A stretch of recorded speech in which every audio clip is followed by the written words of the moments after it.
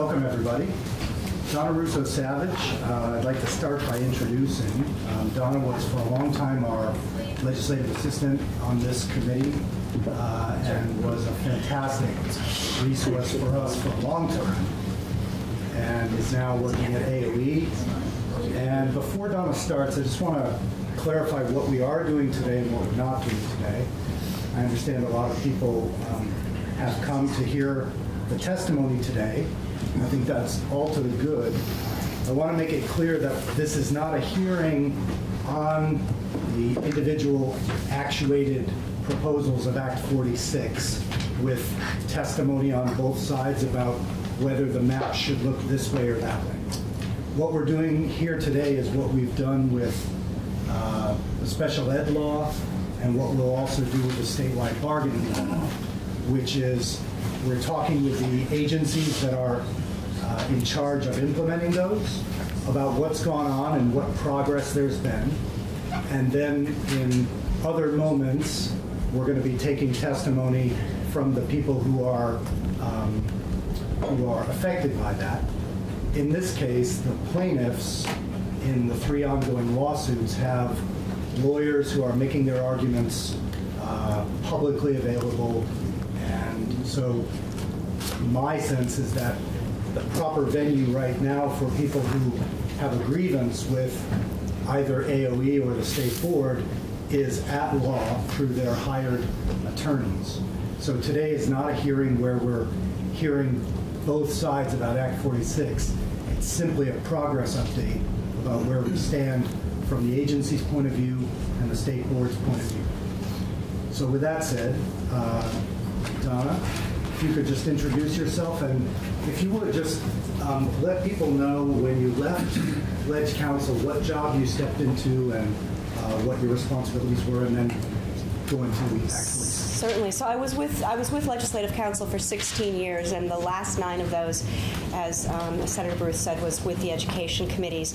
Um, and as you know from your own um, Legislative Council, um, our, our, role here is strictly nonpartisan. When, when I worked for Legislative Council, when I moved to the Agency of Education, that was my understanding of my role there as well. I was there in a in a in a role of helping implement a law that the legislature had acted. I went over specifically to help with the implementation of Act 46 and its related laws because there was a lot of confusion. It was a new law that was complex, and um, and my role was not to say this is a good idea or a bad idea, but this is what the legislature has passed, and this is our best understanding of how to proceed with it.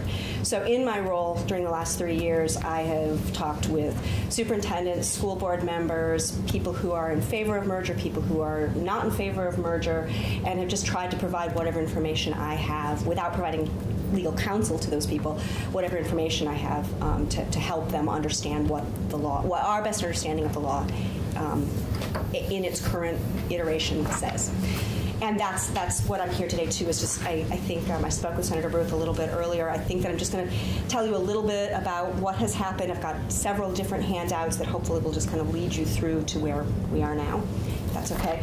So the first one, if you could just pass those down, and Jeannie, I've got the other. And again, these handouts will show up on our website probably by the end of the day, so you can. And most yeah, most of these things are things that people have seen before. I just tried to put them all together so that we could go through it. This is the map of districts as they existed in um, July 1 of 2015. Um, and as you can see, it's it's you know very much a patchwork. That the um, the in in the uh, um, down here in, in, the in the key, each of the different kinds of um, whether a district operated or tuitioned certain grades is indicated. So each of these different kinds of hash marks, colored hash marks, indicate what grades that particular district paid tuition for. That's that's the way this is indicated. So um, uh, if you see a number of, let's go up here to um, to, I, am sorry, I don't have my glasses on. Um, well, up here, the blue, Lamoille. Um, it's all blue. That that if it's all a single color within a, um, a green barrier, that means that they have a union high school. But each of those individual towns had at the time had its own um, individual school board, school district. Um, that that in this particular case, because there are no hash marks, you know that the elementary school district um, operated all grades. Um, so th- this just kind of gives you a, a, feeling of you know. Wh- what it looked like at the time as far as operating and tuitioning and how many different school districts um, there were in the state. And I'll give you some statistics about that. What year is it? This was, um, it's down at the very bottom, and I think it was um, 11, uh, 2015 is I think when it was actually printed. The next document is, uh, well, uh, actually, let me just back up, so, um, because you're not all as familiar with the process as I am. In um, 2010, the um, legislature enacted Act 153, which did a number of things, including it established a, um, a program to encourage districts to form unified union school districts. Unified union school districts are pre-K through 12. Doesn't mean they have to operate pre-K through 12, but it means that they have to be responsible for pre-K through 12. Um, and in order to encourage the creation of pre, uh, pre-K through 12 districts, um, in 2010, the legislature um, uh, enacted Act 153, which created the initial program, which people referred to as the RED program, Regional Education District Program. Um, there was some interest in that. There were a couple of votes. The votes were not favorable. There was um, one that was created under that program initially called the Mountain Town Reds that was later pulled into another larger district later. Um, but in, hello. But in general, um, it, it, there, you know, there, there, was a lot of uh, testimony to the to the legislature that it really wasn't being effective because it didn't it didn't take into account various um, realities on the ground, and so. Donna, I just want to clarify sorry. for Krista, welcome. Thank you, thank you. I was hoping that Donna could do her whole spiel and Yeah. answer questions, and then we'd move to you, but um, sitting there is great. Yes, no, thank you. So um, in t- 2012, the legislature came back to this and, and, and enacted three additional programs encouraging districts to merge um, that were variations on that original RED program. And all four of those um, programs continue to exist.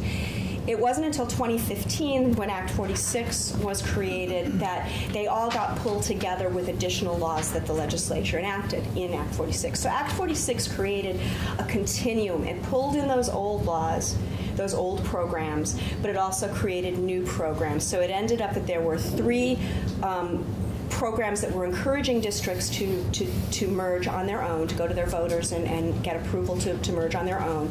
Um, the first one was an uh, first time-wise one was one that at the agency we, um, we generally refer to as Phase One, the accelerated program. That was created in Act 46, and that required very rapid action.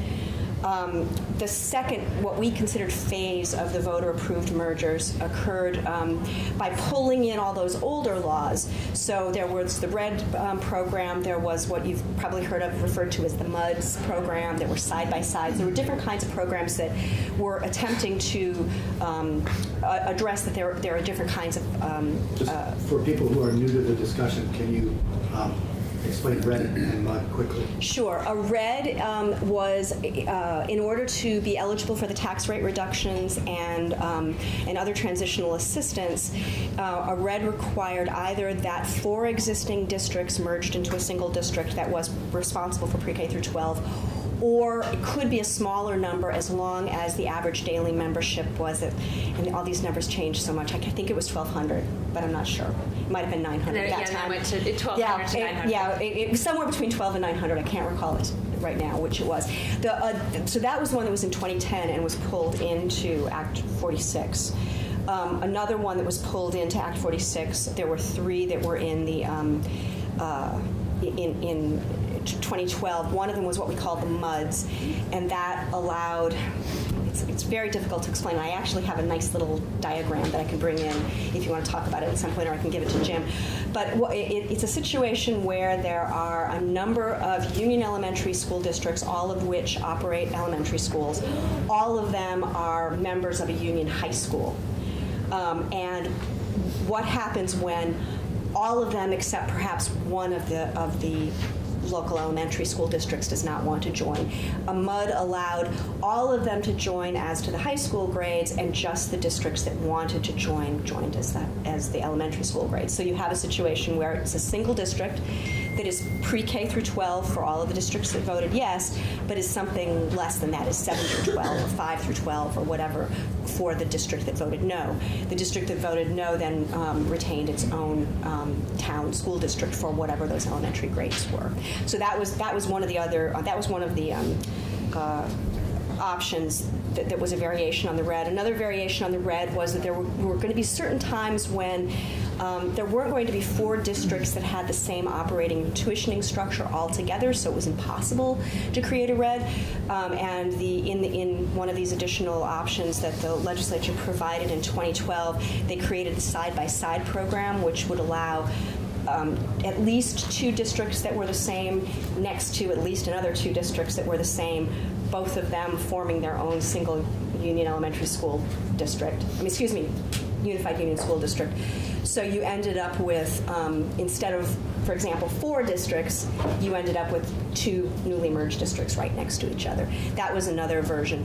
Uh, and both of those, both the MUDs and the, and the side-by-sides and the REDs all were part of what came into Act 46, and you'll see here were, were something that um, we're, we're taken advantage of. Um, the, another one that was not taken advantage of was the opportunity to form a Union Elementary School District, and, and no one took advantage of that opportunity. So there were three phases of these voter-approved um, um, merger programs that uh, were, cre- were created or incorporated by Act 46. There was this accelerated one, which was phase one. There, phase two were, was pulling in these others that had been enacted in the past. And the third phase was essentially like the first phase, but it didn't have to be quite as fast. Um, so, um, all of this had to be. I'm not going to go into the third phase because there were none created in that, and it was a, the timing was a little odd. But what all of these required was that districts that were created were, would be operational no later than July 1, 2019.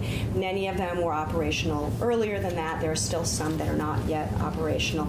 Um, so I'm going to pass out. This is a list. This is very similar to a handout that was attached to the um, um, the secretary's proposal. Would you give those to Jeannie, please? Thank you. But it's, it's updated a little bit. So this is a list of all of the voter-approved um, unified union school districts. So, so these were approved under those phases I was just talking about, either an accelerated phase or a, um, uh, a MUD or a side-by-side or, or a red. And what it does is it, it lists the name of each um, new unified union school district.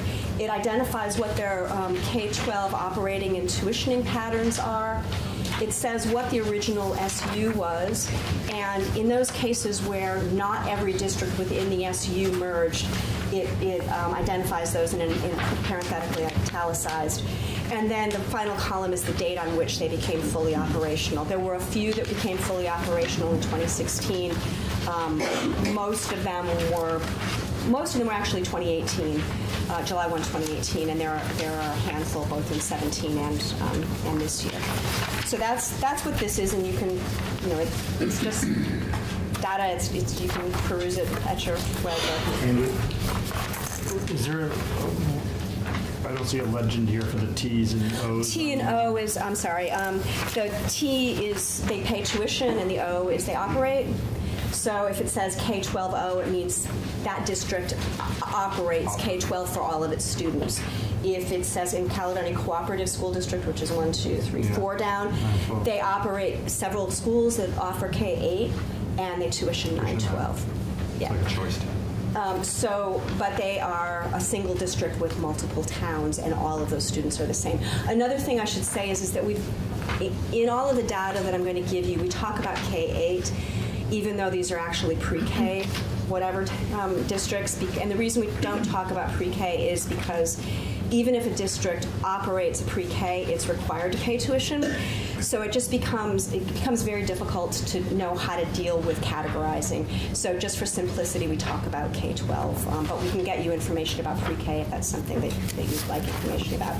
The next thing I'll give you, and this we won't spend any time on because it's basically the same. This is just a map of um,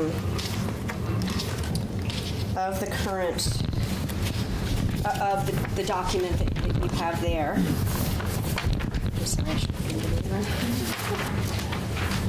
Could you, I know, could you pass that to Jean too? Thank you. So this is this is just uh, you know so that you can see as a map that list of districts that um, that I gave you before. Oops, did I give you the right one? Yes, I did. Okay. So um, all of the orangey ones are the new unified union school districts that were created by voter approval under one of the programs that the legislature um, enacted. Um, the others that are various colors, yellow and, and, pink and blue, these are all of the districts that did not um, uh, voluntarily um, uh, pursue that path. Um, and it gives, um, it, again, it gives, e even in voluntary merged districts, newly created districts, it again gives the identification of what, what grades are tuitioned, if any are tuitioned in that district. One thing I will point out is um, you'll find that in, on this map there are five um, districts that are polka dots, and you'll see one way over on the um, western side of the state, about halfway down. And the polka dots indicate the um, the, what I was talking about with the MUDs before, they are a member of the Union School District only for the high school grades, and they retained their own um, district for the elementary school grades. So it was just a different way of identifying them. Is this map the same as that map? Uh, no, it's not. Yeah, different map. That's a different map, and I'll get that one in a minute. So this, this gives you only the results of what happened after districts took advantage of the various voluntary programs that the legislature created. It says here, uh, voter-approved merger activities is kind of how you can tell. But it says as of July 1st. It says of 2019. July 1, 2019. The reason is because if you see on there, you'll see that some of them don't become um, operational until then. They've already been created, and we felt like it was more helpful to know what it's going to look like rather than what it looks like this year, which is a transitional year. Um, so, the next. To some degree concurrently, but more at the very end of these voluntary phases, the next thing that Act 46 did was um, said any district that is has not created one of these um, uh, districts that is eligible for um, uh, the tax rate reductions, and a few other districts, and I'll, and I'll talk about that a a little bit more in a minute. But except for a certain group of districts, any district that hasn't gone forward with a merger um, is required to do three things before, and it turned, it, the timing got changed. It ended up being before um, Dec- December um, 26th of last year. But um, and those three things were they had th- those districts that hadn't voluntarily merged needed to talk with the other districts in um, their region. They had to self evaluate how they were doing on their own currently. Um, and they also had to present a proposal to the state board going forward, either that they would, um, you know, how they would change whatever they're currently doing so that it could be, um, it, it, it would be better able to meet the goals that the legislature had set in a more sustainable way. And that could be done by um, keeping the same governance structure but changing some of the things they did, uh, you know, recognizing that there were certain issues that were problematic and how are they addressing those.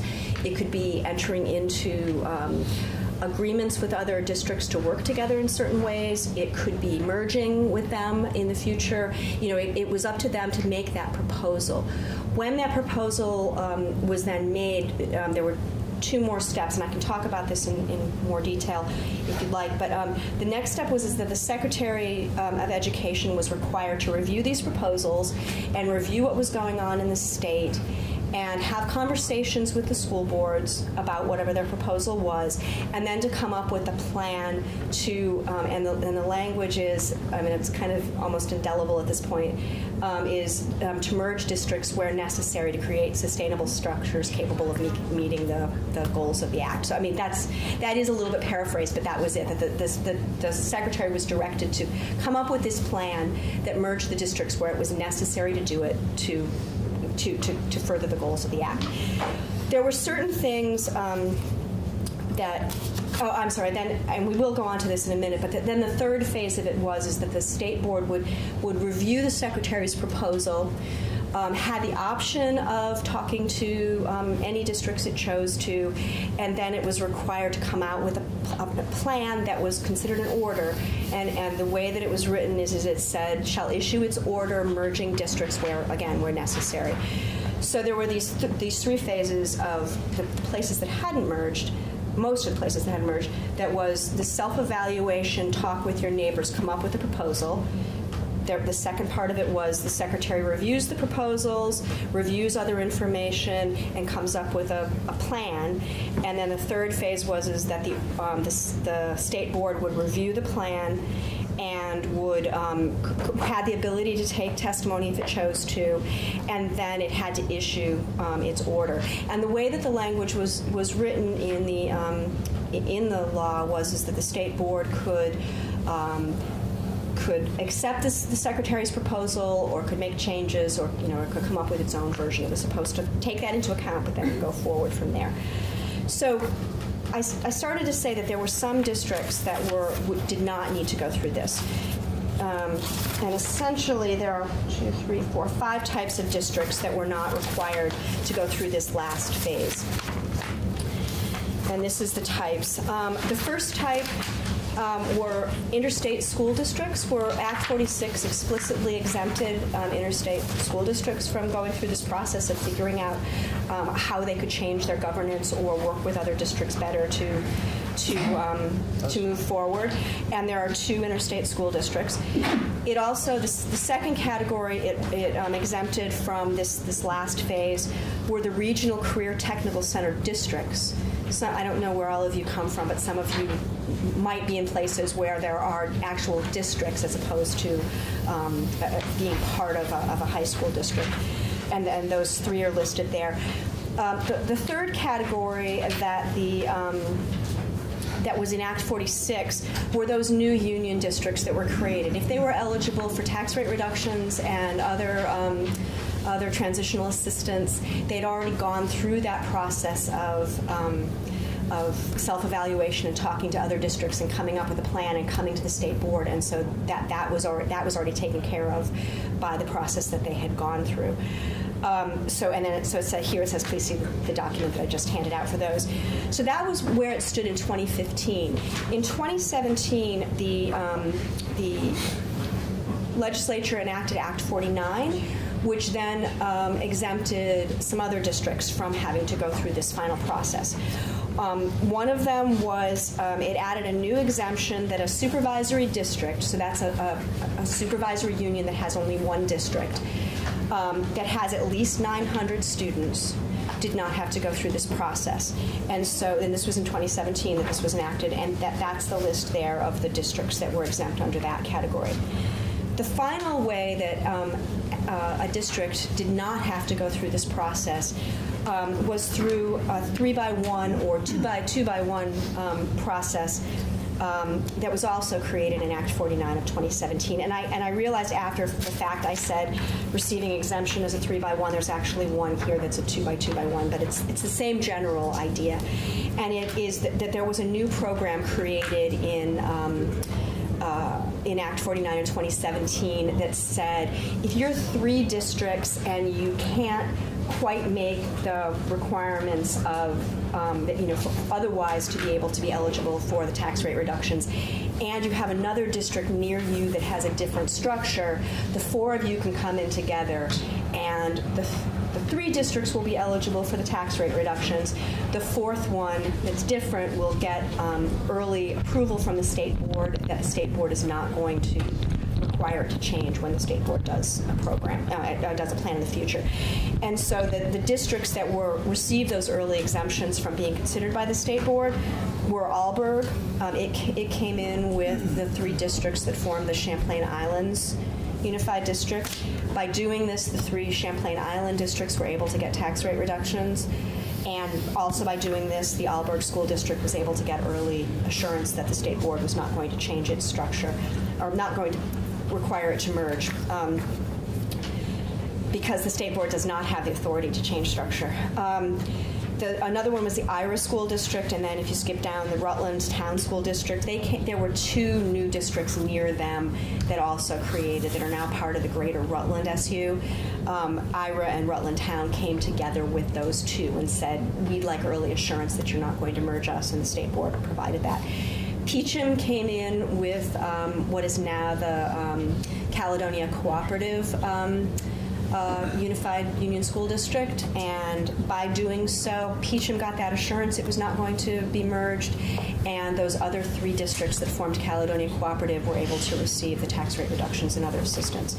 And then finally, Marlboro School District um, is, you know, is a similar situation. It came in with um, with uh, merging districts in its area and, and was able to get that um, that assurance that the state board would not change, uh, not merge it with another uh, district and, and have it be a part of a larger governance structure. So those are the districts that are were off the table when the state board was looking at all of this. The next, the next um, document these are all of, this is what happened to all of the districts that were subject to the final report and order that was um, issued by the officers. Um, So first, there were, um, the- and there will be more information about this in my final document, but this, this tells you about all of the districts. The first page is the state board merged 25 different districts, and these are in this first group. These the, the merged districts are the ones that are in italics to create these 11 new. Um, uh, excuse me, 25 to create one, two, three, four, five, six, seven. That's right. Yeah, excuse me, seven new unified union school districts. So these are pre-K through 12 districts that the state board created by merging those districts that are parenthetically listed after each of them. Another group of districts that the state board dealt with was um, there were uh, four new um, uni- union elementary school districts that it created. And again, these were by merging the, um, the parenthetical italicized districts following it. Um, they merged two districts into an existing um, union school district. So Mo- Montgomery and Sheldon are listed here. They were merged into the Northern Mountain Valley USD. And then final group of merged districts, uh, it conditionally merged five those five districts that were the elementary school districts involved in a MUD. And the reason it was it was conditionally is because the, the MUD itself was eligible to receive tax rate reductions and other transitional assistance. It could not be required to do anything by the state board, so it has to be vol- voluntarily, you know, willing to accept these other dis- these districts. The next two pages list by um, supervisory union, alphabetically by supervisory union, those districts that the state board considered and said, no, you're right, the, the best, you know, it isn't best to um, require you to merge. And so these are the districts um, on, this, on pages two and three that um, retained their, their current governance structure and were not merged to form a larger union district. And in all of these situations, um, we've indicated, you know, whether they're K-8 operating, K-12 operating, you know, what, what, whatever they're operating in tuitioning structure, again, using that same um, method of O and T. And then the map that you have up there right now is the one that shows the, what is the result of the state board mergers. Um, the, the, the MUDs that have to approve those mergers, are those votes of the towns or the districts in the MUD, or just like the board? No, it's the, the voters of the entire MUD, including because, for example, um, for example, Orwell, um, Orwell is a mud, or was part of a mud, for, for the high school grades. So it required a vote of everybody in the mud, including Orwell, even though Orwell was the subject of it.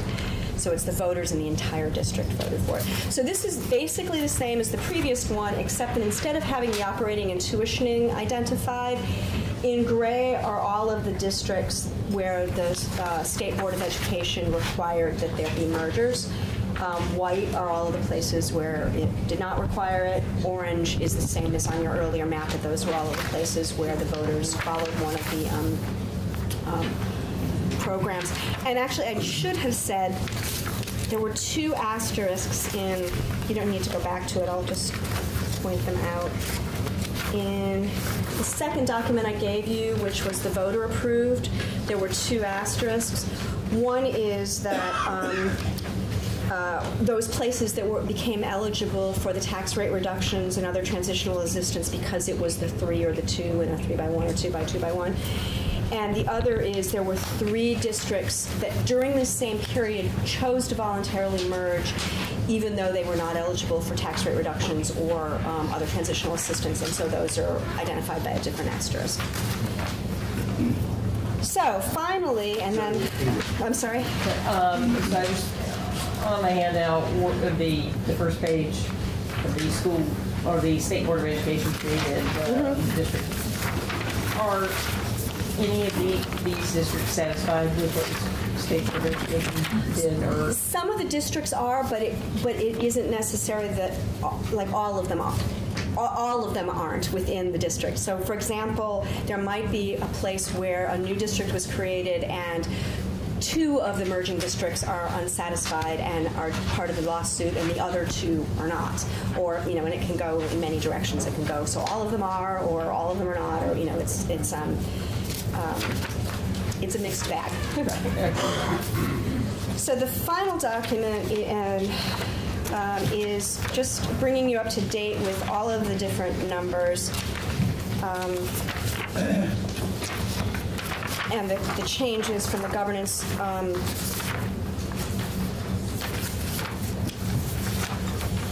so in fiscal year 13, so this was prior to um, not prior to the enactment, but prior to anything happening actually with Acts 153, 156, or 46. Um, there were 276 um, districts. Uh, prior to um, Act 46, because there had been a couple of mergers, there were 267. If you take all of the voter approved mergers under, under Act 153, 156, and 46, there are 154 districts compared to 276. Um, if you include the state board mergers, um, there are, it goes down to 120 districts. And if all of those potential um, mergers with the MUDs occur, there would be 116 districts as opposed to 276 districts. Um, and it gives information about the net um, reduction um, and also about changes in, in SUs. I'm not going to go through every bit of this because you can read it for yourselves, but um, I, I would I just want to point out a couple of things about this. One is is that um, voter approved mergers. Um, since the enactment of Act 46, it was 151 districts located in 141 towns, merged to form 38 new school districts. Um, there were seven merger proposals that the voters didn't approve. Um, and in, even in those places where the voters didn't approve it, voters in eight districts approved merger, voters in 18 districts did not. Um, and also, just to, to, point out that there were um, there were several instances where newly merged districts were created. Um, there were eight merger proposals that were actually approved, but um, one of the districts chose not to, to, to, to, merge, and so it is not merged. Um, on the second side, this is to give you some information about those. Um, those proposals that I said would come from any of the districts that are not exempt from the state board's plan. Um, it was all, it was, what they had to do was talked about in Section 9 of Act 46, so we always talked about them as Section 9 proposals. So there were 46 either districts or groups of districts um, that submitted an oral or written Section 9 proposal. If you, if you separated all of those districts and groups of districts out, there were 96 districts, and of those 96 districts, 11 of them were um, Union High School districts. Um, that, that represented 90 towns. Um, of those 46 proposals, so it could either be a, a district or a group of districts, and again, and this goes back to your question, there were situations where one district would ask for one thing and another district in the same you know area would ask for something else, and only one of those could come true. Um, so, of those 46 proposals, nine proposed um, that the state board require merger, 30 proposed to retain the same governance structure. Three requested the opportunity to be able to go forward with either um, a proposed merger to their voters or to create an interstate school district. And four either made no real proposal or um, proposed something that the state board didn't have the authority to do, doesn't have legal authority to do. Um, then, if you go to the, the last category here, um, the state board's final report and order. So it addressed all of these 96 districts by requiring 45 districts located in 39 towns to, to either form 11 new districts or enlarge existing districts. It conditionally required an additional four town and elementary districts to merge with the MUDs. And the reason it's only four rather than five here is because um, Slate Valley, which is the district that uh, of which Orwell is a, a, partial member, had its vote before the state board issued um, the order and said, if the state board orders us to do this, do we accept, or orders Orwell to join us, do we accept it? So that got included within the merger. And then finally, it did not change the governance structure of 47 districts. So it's 45 that were merged, four that were conditionally merged, and um, 47 that were not merged. And I want to give one other piece of information that I didn't include, um, and that is, is that in, in um, fiscal year 18, so 27 2018 academic year, um, there were approximately 78,700 kindergarten through grade 12 students in the state. That was 78,700. If you add in the numbers that have, you know, have been in each of these phases, 36,752 of them, which is about 46.7, live or will soon live in a in that first category that I told you about, the, the voluntary mergers if you add in the students that already live in supervisory districts, those were those eight or nine districts that this, the legislature decided in 2017 were large enough not to have to go through this process. Um, if you add that, there's another six, almost 16,500 additional students there. So if you add those two together, you come up with a 53,247 is what I have. Um, so it's a total of about 67.6% of the students. If you add in the additional students that are impacted by the state board's order, that's um, almost, uh, it's 10,000 and then almost 700. 10,694 additional students are impacted by the state board's order. That brings the total of of students who either live or will soon live in a unified union or union elementary um, school or union yeah union elementary school district to um, 63,941 students, which is 81% of um, the student population, using K through 12 um, fiscal year 18 numbers. So I know that that's a lot, and I'm really happy to answer questions now or to come back at a later time to Yeah, answer so questions. Let's take questions for Donna before we um, hear from Chris. So to the extent you have them. Don, can you, Uh, Senator Birchley first, and then Senator Kent. Of the, the Section 9 proposals, mm-hmm. so you, you list the, the 46 proposals, and 30, you list that they propose to retain the same governance structure. Was that the requirement?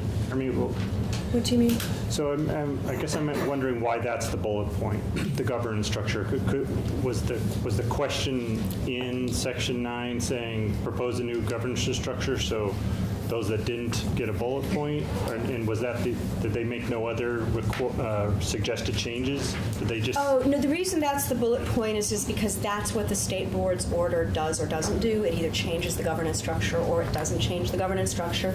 So this was just a way to be able to compare the two. That was, that was all. But they proposed other changes, so it's different than saying, In- don't do anything. Like, In most, in same. most situations, yeah. Yeah. Senator Parent.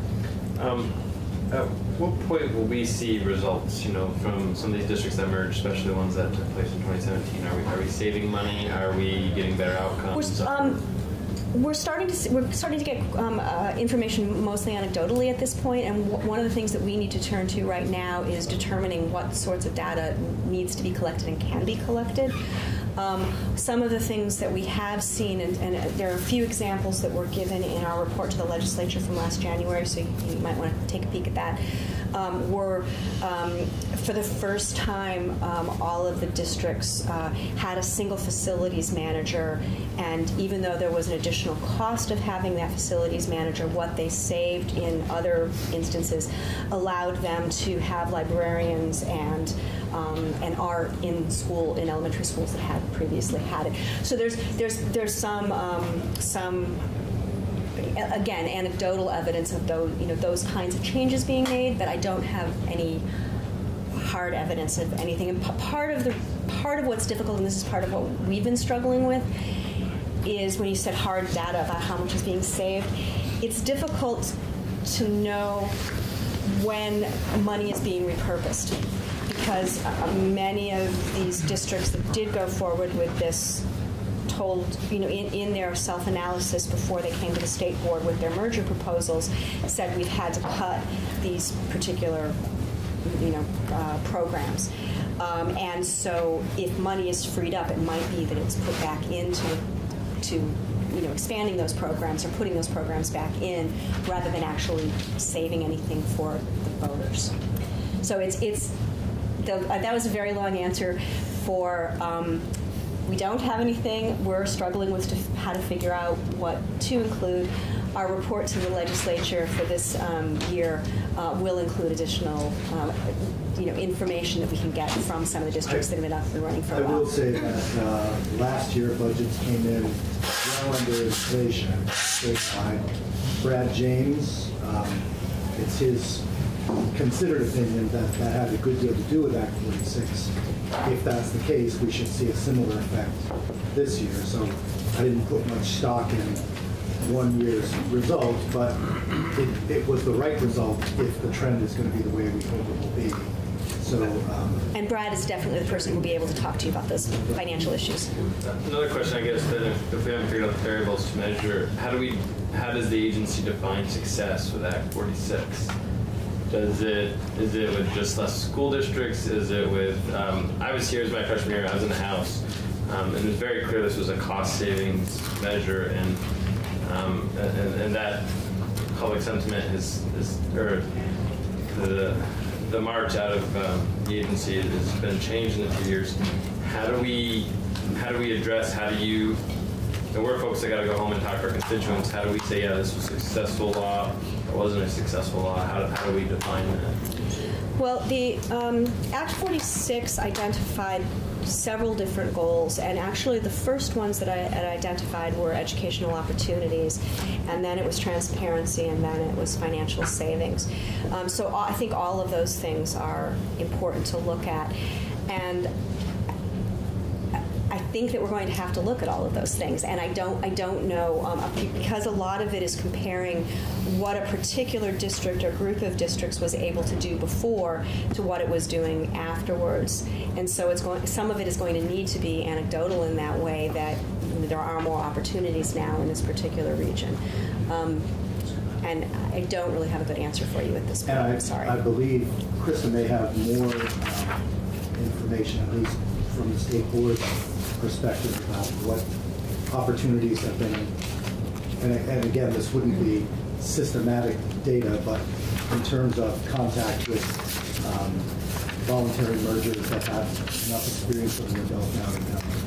That's, that's one more question. Um, and, and just to kind of point to one, transparency.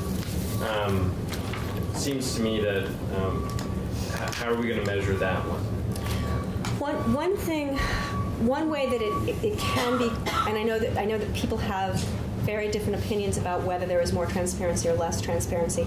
But one area where there is more transparency is, is that when you have an, a supervisory union that's responsible for a number of member districts, the supervisory union is currently has become increasingly more responsible and is currently responsible for a very large percentage of what goes on, uh, of the cost of what goes on in um, and among all of the districts. For example, it is responsible for providing for um, uh, uh, special education um, um, services, and that's pr- probably where it comes is the biggest. When a supervisory union puts together a budget, it puts together the bu- budget of what it needs. It then is allocated to each of the districts, and if the voters vote their budget down, they don't have the ability in a district. They don't have the ability to change what that supervisory union allocation is. So there was a, there were very large chunks of money in supervisory unions that are going out to the voters, and the voters have no ability to change them. Um, so one of the things that one of the ways that this does create more transparency is, is that's just one i- line item. If you have a single large district that is its own supervisory union, there isn't a separate, separate supervisory union budget. It is the district's budget. So in those places that have merged, one of the ways that there is tran more transparency is that what is being spent on, spent on special ed is one of the items that can be changed if, if the voters vote the budget down. Um, there are there are other ways that people, and I'm sure that when people come in and talk to you, they will tell you why they do not believe it's that there is as much transparency. I, there, I know that people have expressed concern that they no longer will have, um, you, know, the, the, the meeting occurring in their own school in their own town that they can go to on a regular basis and talk to those people who are their neighbors. They, you know, those neighbors will be now part of a larger district, and so I know that there's some concern um, among some people that there is less transparency, and I'm sure that you'll you know, be hearing from them as well. Other questions for Donna?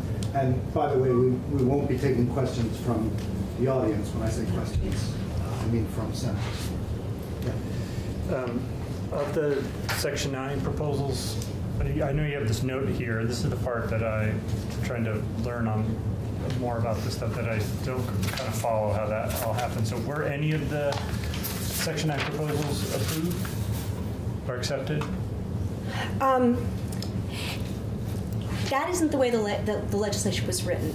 The legislature, the legislation was written is that they would make these proposals, the secretary would review them and come up with a proposal herself, and then that proposal would be reviewed by the state board, and it would come up with, and it had the op- option, but it didn't need to talk to the locals. So it wasn't unlike a. Um, a merger proposal, there wasn't a yes, the state board approves it, or no, the state board doesn't approve it. There was never that part worked into the process. It was part of the information that was given along the proposal, I mean, along the path. So the answer is no, because they didn't approve or disapprove any.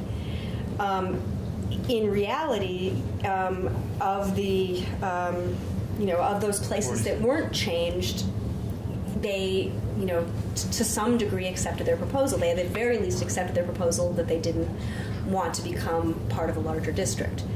Um, and so that, you know, that that was what the state board was charged with was was where do we need to change district governance in order to meet these um, Yeah. goals. I- I that was what they were given. They, they were given the opportunity in Section 9 to make a case not to be merged.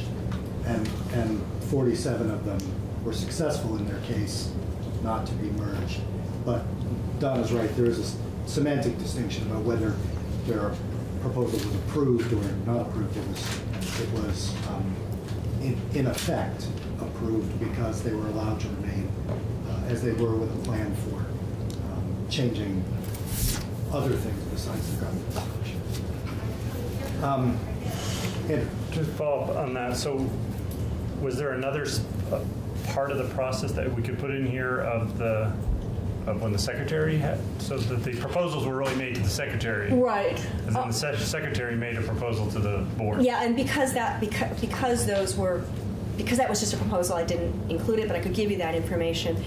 Um, and there, uh, I'm sorry, I don't have it with me, but um, there were a certain number that the state board did not agree with, with the secretary's proposals, either that the state board said, yes, we, uh, the secretary said, yes, you should merge them, and the state board said no. Um, There were some that the state board said, we don't think you should merge them, and the state board said, yes, we, we do. And there were a number that the secretary said no, and the state board agreed. There were some that the secretary said merge, and the state board agreed. Um, For the most part, I think it agreed with most of the yes mergers and no mergers, uh, but there was a fairly significant group that they did not agree with, one way or the other. Both ways. Yeah, and I, and I have those numbers if it's something that you need me to, to track for you.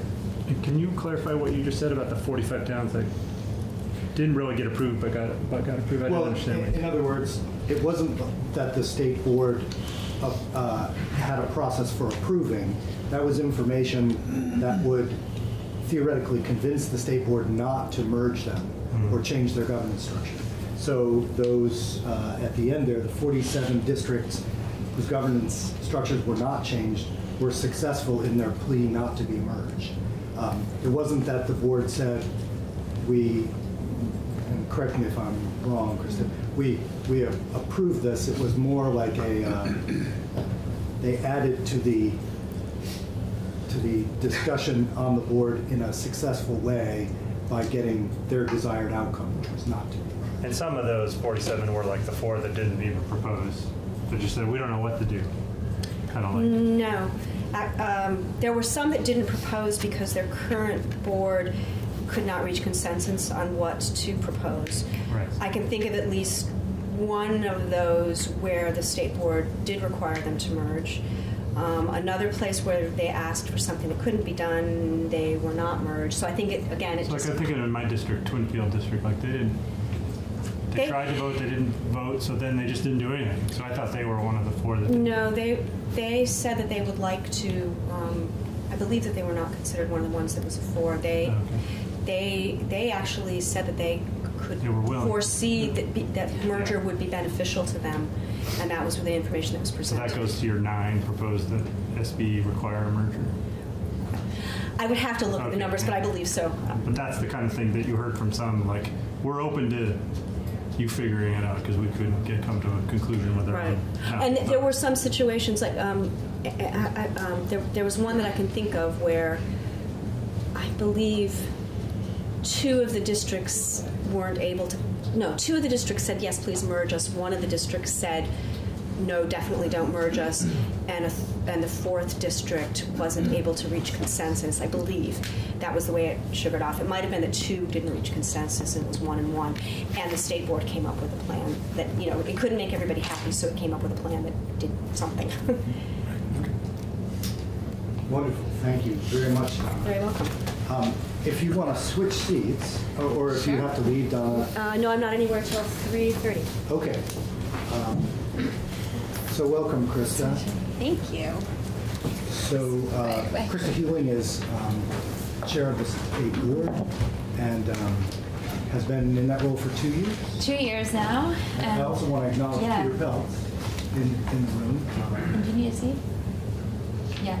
Um, Well- Do you want, do you want to sit? You sure, are you You sure? okay? Well, this is not putting out heat, so. uh, Still. But do you want Do you want to sit here? Well, what are you gonna, I'll just stand over to the side, it's fine. Yeah. Donna, why don't you come? yeah, come over here. Okay. Um, So, uh, Donna moved from Leg Council to AOE, Peter moved from the House to uh, the State Board, and is part of the institutional memory of um, how things got where they are. Um, And uh, so welcome to you both. Feel free to present however you like. Yeah, I mean, first I'd just like to introduce myself and, and thank you for having me. Um, for some of you, I'm just meeting you for the first time, um, and some have been here for a while. Um, and uh, so I'm Krista Huling. I live in Cambridge. I also am a teacher in South Burlington, so that's why I was teaching this morning and, and came up here right after classes and trying to find parking it was a little difficult. So thank you um, for for and thank you, Donna, for coming in and, and being first to go. Um, and so I just want to um, welcome and, and looking forward for two years of coming working together. And then, Peter, um, you really. Uh, you you want my brief bio? I've- been on school boards, elementary, Union High School, Tech Center, I was on the Board of Trustees of the state colleges, and uh, now I'm on, I was eight years in the House Ed, and now I'm on the State Board of Ed. Um, so thank you for having us in. And, um, and we can just really get started with the, the process and, and how we went forward. And so Donna went over so much information there. This right here is a memo that the state board put out in July. And this memo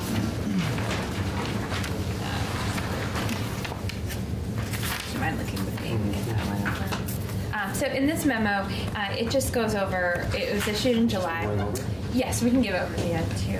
So just when we looked at our charge, um, just like everybody else, on June 1st, we got to see the, the state plan. And so we weren't, we weren't given any sort of preview to that plan. And so just as it went up at 6 o'clock at night, that's when all the board members went on. We were looking for the plan itself. We then had a special meeting just to go over the overview of what was in that plan, and that was in early June. And later that month in June, we had our annual retreat. And at the annual retreat, we're able to sit back, and at this point, we had gone through and looked at the plan and, and figure out how did we want to move forward. And so the first thing that we did is we looked at what was required of us in Section 10. So you heard a lot about Section 9, and Section 10 is, is really where the state board comes in. And we were charged with review and analyze the secretary's proposal. Um, we're also um, given the charge of approving the proposal either in its original form or its amended form that adheres to provisions of the subsections. Or, um, and the last one is to publish on the agency's website its our order merging and realigning districts when necessary. And so this we were um, issued in July, and we had the deadline of November 30th. So we're looking at oh, how do we do this in a way that would um, be a successful way of trying to analyze and go through the secretary's plan. The first thing, um, when we look at section 10, it authorizes, does not require the state board to take testimony or ask for additional information from districts and supervisory unions. So that was not included. So this is what, um, this is very much in the contrast of what's required of the secretary. And when the secretary is required for the opportunity to be heard from each study committee. Um, but we decided that we, um, even though it said we didn't need to take additional information from districts and supervisory, supervisory unions, we decided that this was something that we have to do, um, and that we gave ourselves that task of making sure that we gave everybody an opportunity to come to the state board and to have their, their say. And so this was a, a challenge looking at a board that meets once a month. Um, so we were not given any additional resources to complete this task, and we had from June until November to get it done. And so we looked and took a step back and said, what was the best way to do this? We decided to have three meetings, so July, August, and September, that we traveled around the state, um, again, in an effort to try to get closer. Not that we got into every geographic region, but we decided to do north, south, and central in, an attempt just to, to get um, to these different areas. So we moved our board meetings into those areas. And at that time, we decided not to do anything other than look at this plan. Um, so we pushed off every other piece of business, um, really, and we're still just getting caught up right now on all the things that we had to delay in order to do that. And we we had meetings that were between eight and nine hours long, um, going and taking testimony. So to do that, we we invited, we divided the state into different regions and invited everybody to come. And yes, it was 20 minutes. I know that wasn't a satisfactory, her number for a lot of people, but it's a way that we could have everybody come in and still have it be manageable. In 20 minutes, when we asked the different areas to come in and talk, um, 10 minutes really about we had already had the secretary's plan, we had the Section 9 proposals, we asked for additional information from everybody before we got there about why it was not practical or practical practical or possible, um, which we said many times, um, and why the secretary's planned and reacted to that. So we got that information, we gave them the 10 minutes, and then allowed 10 minutes for questions. And to prepare for those meetings, we not only had the secretary's report, um, we did go through the Section 9 proposals and use that as a background for uh, people as we're going and asking questions.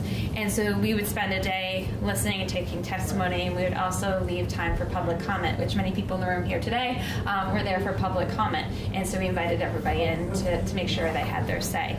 Um, we always went over with public comment and we still maintained we still allowed people come in. In addition we also took a lot of public comment on, in writing um, through email from a lot of uh, people from the outside.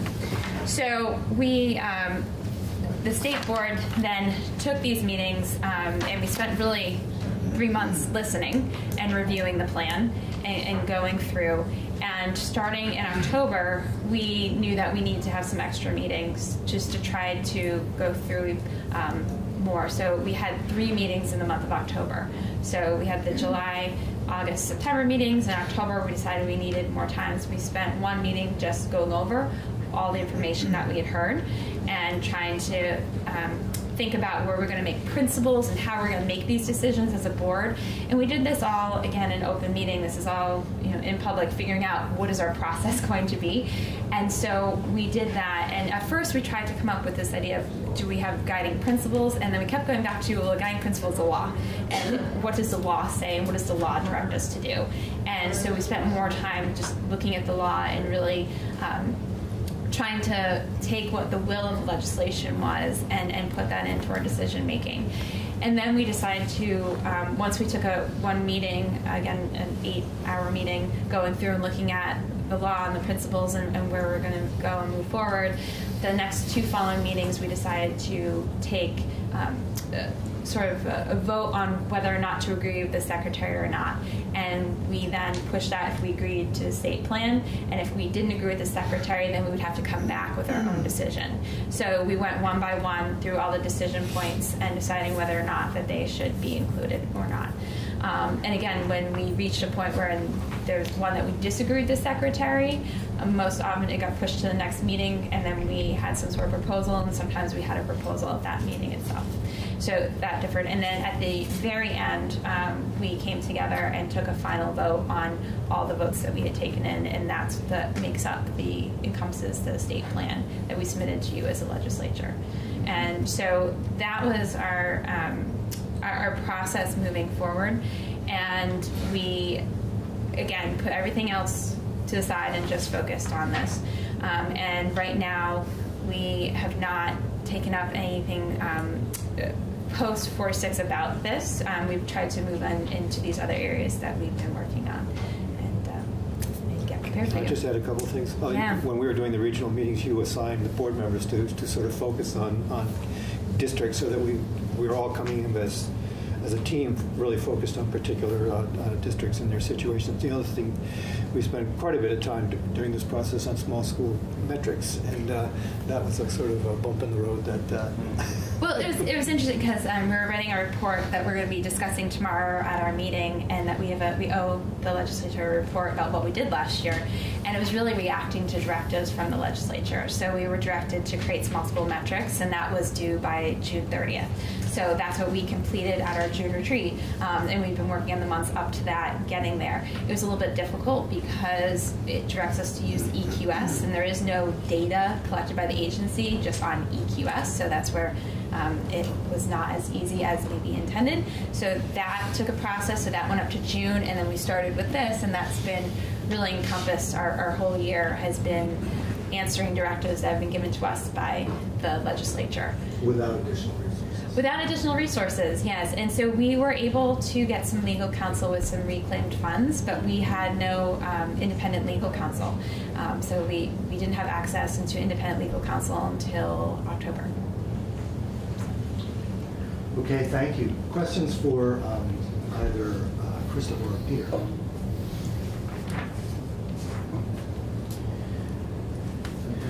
How much did the testimony? I was I was at the one in the Northeast Kingdom this summer. How much did you guys take that into account, and uh, how much weight did you put behind local community votes?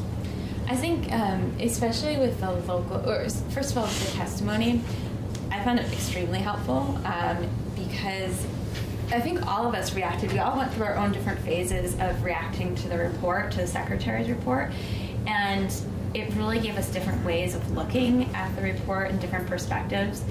And I know all of us kind of we would feel one way and then go another, and, and I think we were really swayed um, by the public testimony. And um, as it comes to the local votes, we also struggled with that because the way the law is written, um, you saw with Donna, I think she did a really great job of showing you what was excluded by the legislature, and that did not include any local votes and, and no votes. Um, so we, we did struggle with that, and in the end, we went back to the law and followed what we believed the law told us to do. And again, that was um, that was difficult, and I think a lot of board members had to you know, we, we all went through our own sort of journey with this piece of legislation, and we did spend so much time with this. And again, not only just the board meetings, but preparing for all the board meetings and reading the report over and over and going back to the law.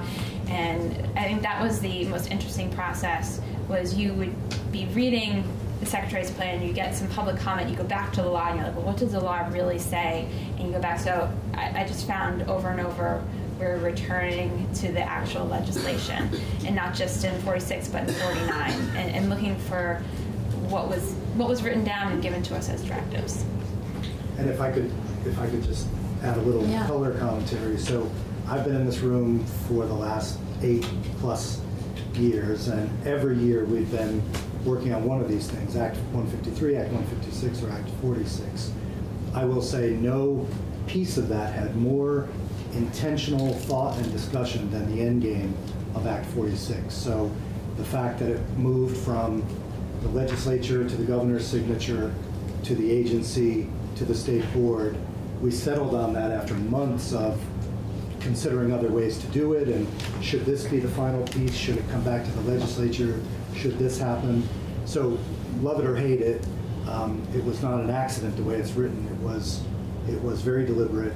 Um, so, I'm, I- for one, I'm glad to hear that the board was um, returning to the to the actual legislation um, as much as it did. You want to say something? I just want to say that uh, I, I think this, for the board members, was a transformative event. I mean, this, we really coalesced. There was no politics, there was nothing, and it was, this was, this is, this is serious stuff. This was tough stuff, and uh, we, we really spent a lot of time in deliberation, and, and I think it, it- in terms of a group, we really, uh, um, I'm not sure I've ever been on a board to see, see some people come together and, and, be, and be so forthright and, and, and uh, inclusive and, uh, you know, and thoughtful and, and researched. I mean, it was, uh, I don't know if you want to say, but I, I, I as all of us, whether, whatever your poli- political affiliation, we really did work together as a, as a, as a, as a unit. And, uh, um, we didn't invite this, you know, this, but, uh, you know, Senator Ringo.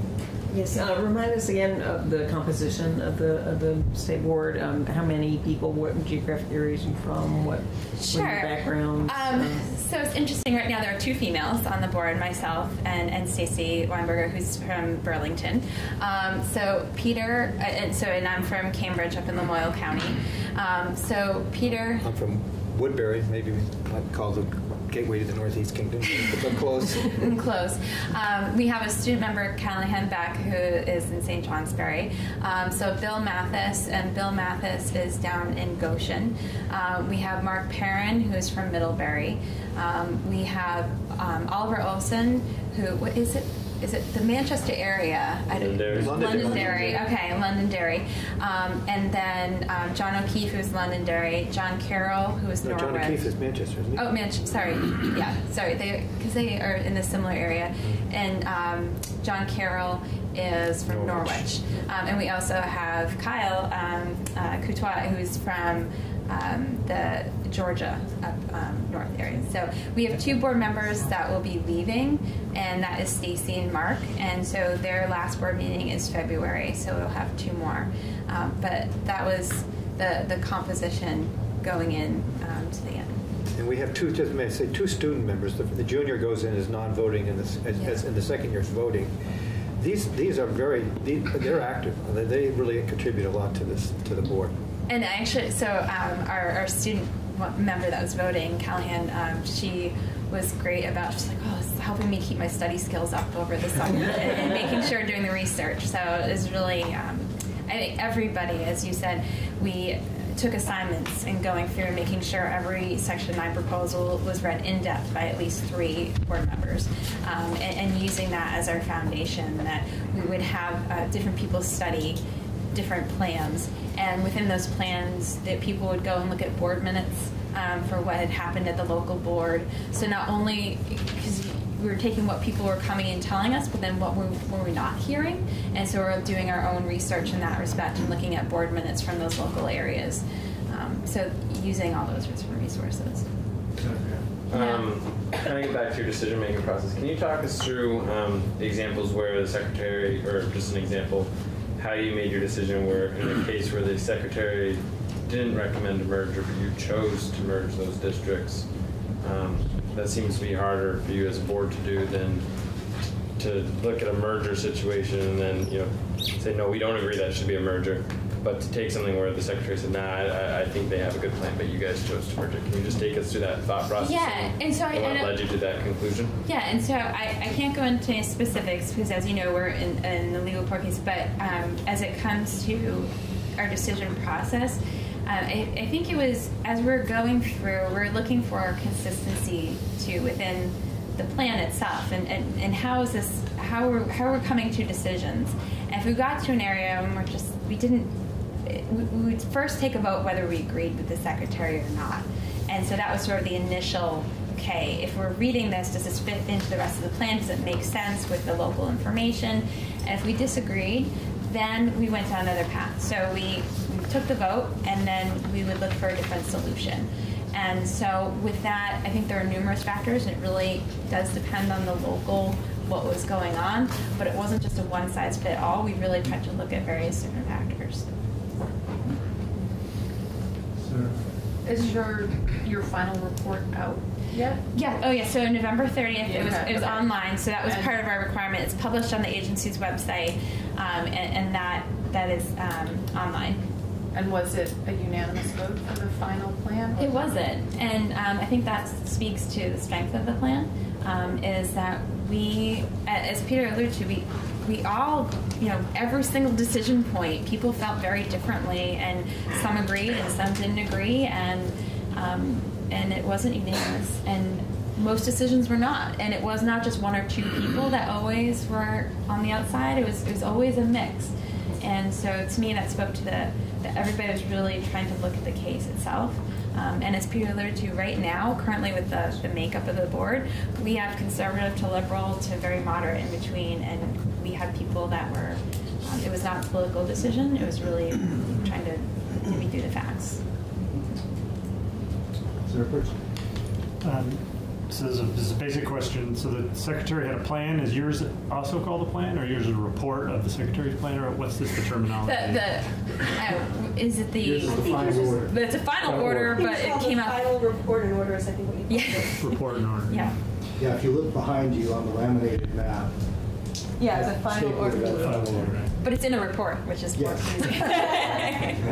And if a town that had a Section 9 proposal wished to read that final order report, did they, would they get an answer or like an explanation of why their proposal was or wasn't, because it wasn't, wasn't accepted or changed, or like in Senator Parent's, you know, that, that kind of? No, that's a good question. In the final order, we really reacted to the secretary's plan because that's what we were directed to do under legislation. So we were directed, so if you're going back to the lettering, that we needed to review and analyze the secretary's plan and either approve it its original form or amend it. So we really tried to work from the secretary's plan and, and, and react to that. And the report includes the analysis. Yes, yeah, and so, and really, Analysis of. In in other words, what, what, rather than deliver it to each um, group that submitted a Section 9 plan, it's all available there, but it's speaking deliberately to their situations in each And, case. and the secretary's report in general does a lot of analysis of the Section 9 plans too. So in some places we react to some of that analysis. So that's where I can't say yes, we reacted to every single one. Um, but again, since we were reacting to the secretary's plan and there was a lot of Section 9 proposals analyzed within that plan, there are some reactions, direct reactions to those. So do you think if a town had a proposal and they read either, either just your plan and, or report in order and the secretary's plan, they would get a, they would feel like their proposal was responded to, that they would understand why it either was changed or not changed, or what part of their plans kind of went I- somewhere and what parts didn't, or? I would never want to say that, like, tell somebody how they should feel. Like, I think, but I think that's, um, but Do you feel like that's in there, that, that kind of information? I feel like a lot of it isn't because within the secretary's plan itself, the secretary spent time going through and in- there was a section nine, including some analysis of that, and also doing a highlights for the. Uh, Don, you could speak to that, just the the appendix section, and, and going through and, and highlighting what was in that section nine proposal. I don't think every area would agree that the secretary maybe captured that, and so that's why I would never Right, sure. uh, try to say how people felt. I can tell you that the append, there were two particular appendices to the secretary's proposal, because all of the, the, um, the, sec, the section nine proposals that came forward were responding to the, the goals that the, that the legislature had laid out, and, um, were giving the kinds of information that the state board had come up with, with metrics or rules for what kinds of things might show some of, some of their, um, their ability to, to, to meet the goals or not. But every single report, section, excuse me, every single section nine proposal that came to the secretary was different in the way that it was formatted and what it focused on, and there, there were some that were two pages, there were some that were literally four binders, but it didn't necessarily mean that because it was large, it was more thorough in its analysis. So what we did was we had two, um, two appendices at the back of the secretary's um, proposal, one of which took each of those goals and copied and pasted from their proposals how they planned or how they said that they were meeting it or what they were planning to do to change it, so that it would be possible to look at, a, you know, a four-page document rather than a 700-page document that was set up in the same way for each district and, and try to, you know, say, okay, how did they respond to this? The second thing we did was um, Brad James, our finance person, um, came up with certain uh, data points that were identical, that were pulled off, you know, from the identical sources for each for each proposal because one of the other things we found is that some people would talk about ADM, some people would talk about enrollment, some people would talk about pre-K, some people wouldn't. And so we wanted to be able to have numbers that were you know, apples to apples and it could be compared. So, um, but you know, both of those things are resources at the back of the secretary's proposal. More questions? Um, just to follow up on Senator Hardy's question, um, could you let us know what, for the record what the vote was? The, Oh, we had two dissenting. And, and how many total? What? Uh, there was eight, so six four, and two against. And as a sec- as a chair, I don't vote. I only vote um, if there is a tie. I need to bring. So there are nine voting members on the board. Well, thank you both very much, and Donna as well.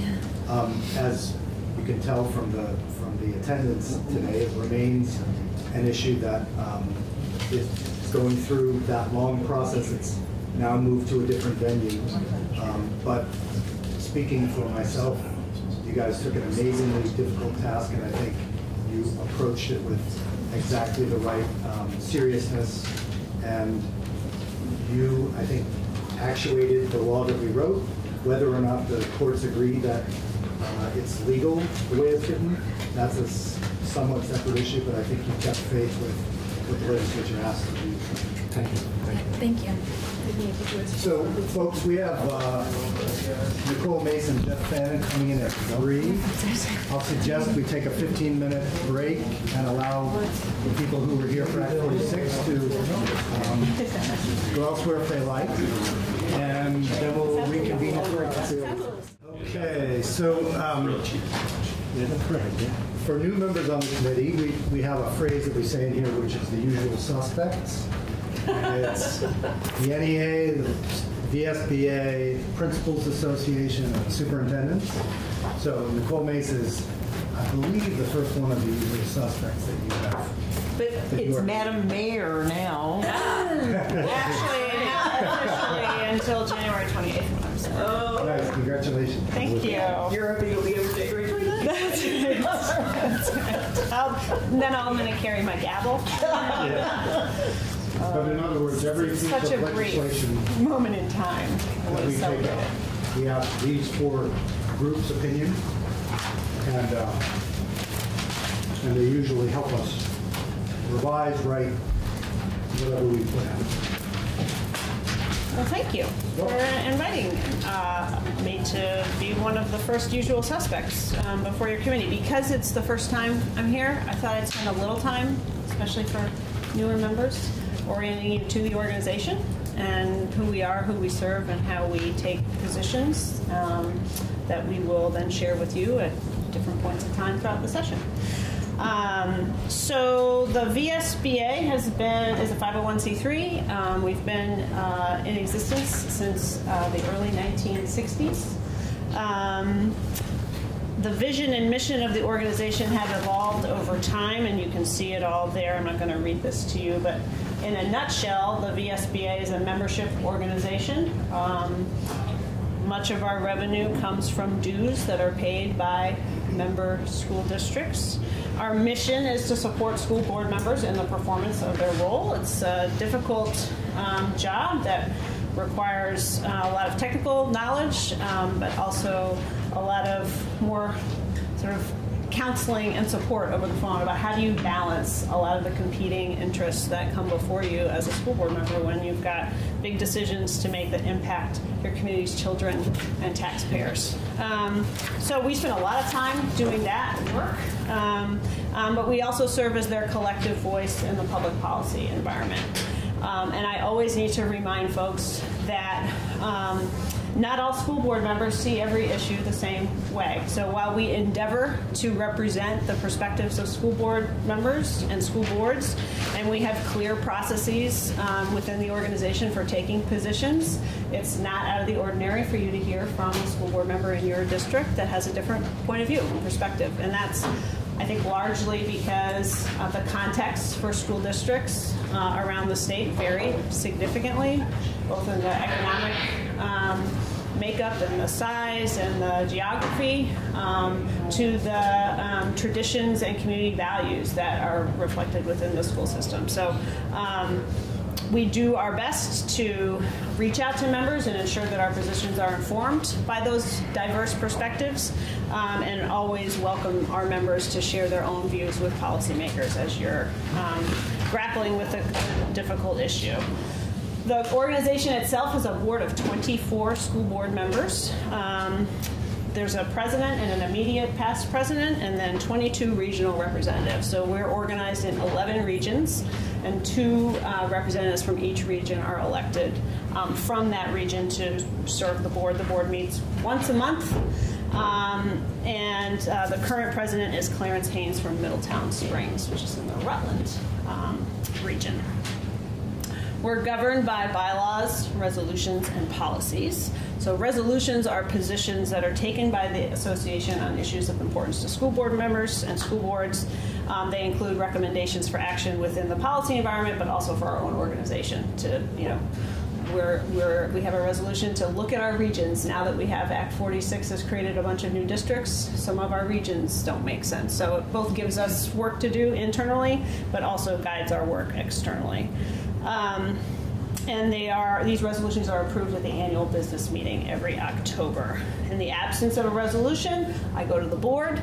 Um, so it's not unusual for something to pop up out of nowhere, and we don't happen to have a resolution on it. Um, the board gives guidance to me uh, and the rest of the staff. We have four full-time staff who um, deliver uh, our services to our members. So that's background on our organization with respect to statewide bargaining. Uh, in 2017, um, the reason I wanted to talk with you a bit about our resolutions process, uh, our members approved a resolution, um, and there's some whereases in background and sort of why they um, support this, but but uh, in the end of the day, uh, they called for the General Assembly to adopt a process for the negotiation of health care benefits at the state level by a council of school board members to apply to contracts that expire in 2019. So that was the, the resolution bringing us into last legislative session. Um, where we worked with um, the Vermont NEA and this committee primarily uh, to draft language that was ultimately um, incorporated into Act 11. I have a couple of newsletters. Um, this is from the fall of 2018 and has a pretty detailed overview of the process for statewide bargaining. So um, it's important that our members understand, but thought it might also be a good educational resource for um, members of the committee to um, to review. Um, it is um, a complex piece of uh, legislation and clearly groundbreaking uh, for the state of Vermont and for school boards. Uh, certainly puts the VSBA in a role that it has not historically played. So we have not um, historically represented school districts at the bargaining table in collective bargaining um, uh, with the representatives of employees. So this is brand new territory for us um, as an association. We've provided trainings and workshops, et cetera, but we've never um, been responsible for being at the table. Um, so, because Act 11 uh, creates this official role for our organization um, in support of statewide bargaining, it was important to us and to the board to put our processes before the membership for their approval before we embarked on this um, in terms of appointing our representatives and developing a ratification process. So um, we spent time over the summer developing some additional criteria that we might want to include uh, in terms of um, appointing representatives to the bargaining commission. Um, and we also um, developed a ratification process, which the, the law requires us to do.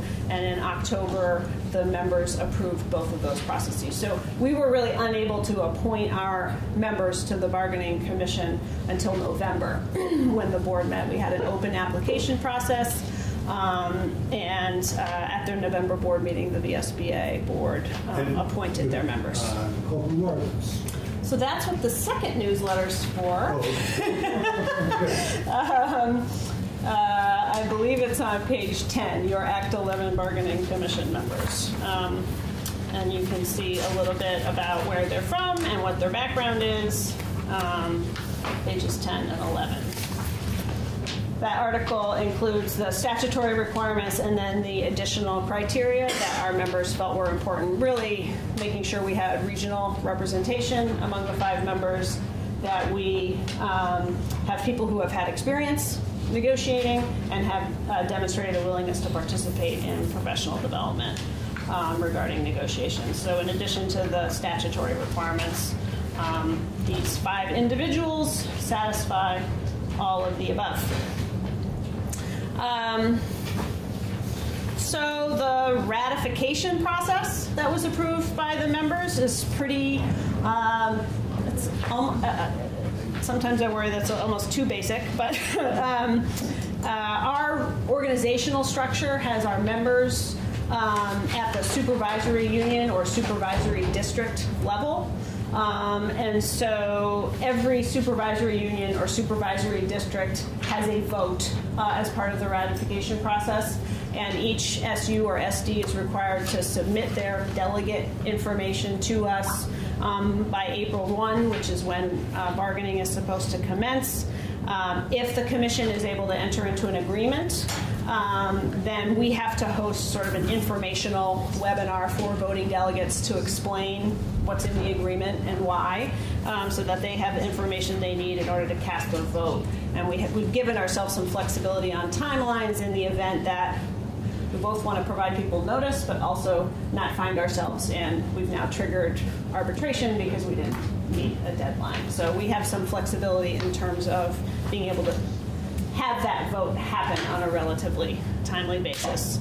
Our members are, we, we um, pioneered electronic voting at our annual meeting this fall, so we're building familiarity with that process among our members so it won't be a foreign um, experience. So logistically, um, we feel like we've put the pieces in place. Um,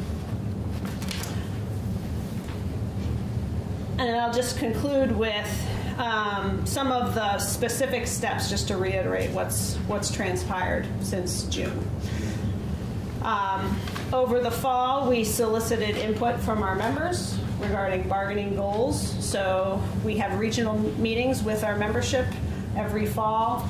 Um, Secretary French joined us and spoke for a little while, and then we had sort of focus groups with our members around three key areas uh, where we needed input.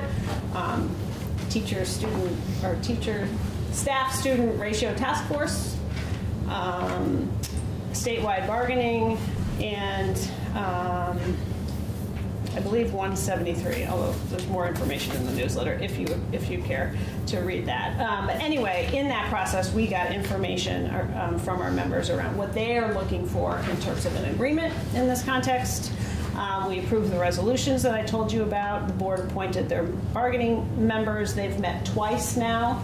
They've been oriented to the law and to the process and the timelines. They're now in the process of starting to develop proposals. I've disassociated myself at this point from that process. They are represented by legal counsel, um, so it's really they're off and running, and, and I'm. Um, in fact, when I told them I was asked to testify, they wondered why I was doing that and, and why not their chair. I said, I'm just here to speak to what the VSBA has done in response to the law. If you want to hear from commission members um, directly, then I'll And refer my- you to the My chair of thinking was, as we came closer to April, we would, like, for instance, I asked Jeff uh, to come, uh, thinking that it was really the organization's leader from now. Right, right.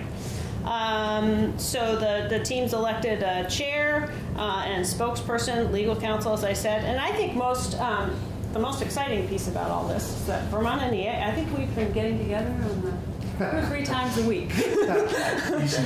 yeah, we, um, you know, Jeff and I were uh, in this building at some point in June and um, talking to each other about the importance of um, working together to the extent we can, um, particularly around the collection of data around what exists currently uh, in terms of benefits. And so we um, started meeting in August, I believe. We had a meeting with business managers around, you know, what data do you have that we could use? What does the agency have? What does VEHI have?